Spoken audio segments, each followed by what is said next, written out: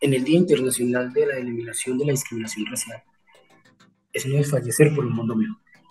Estamos desafiando la desesperanza para aprender a desaprender y así poder construir un proyecto nacional que esté reflejado en cada uno de los espacios que tiene el país, donde comprendamos toda esa multiculturalidad que nos habita. En la escuela, siete pasos, pero basado siempre por un hilo que los une, que es la palabra respeto.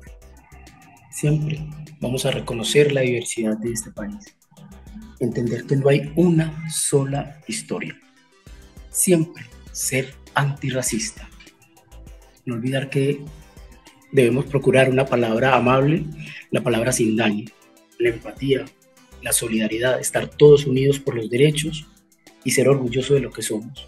Son siete pasos que siempre están hilados por una palabra que es la que debemos trabajar en la escuela, igual con el vecino, con el hermano y con el que está al lado. La palabra respeto.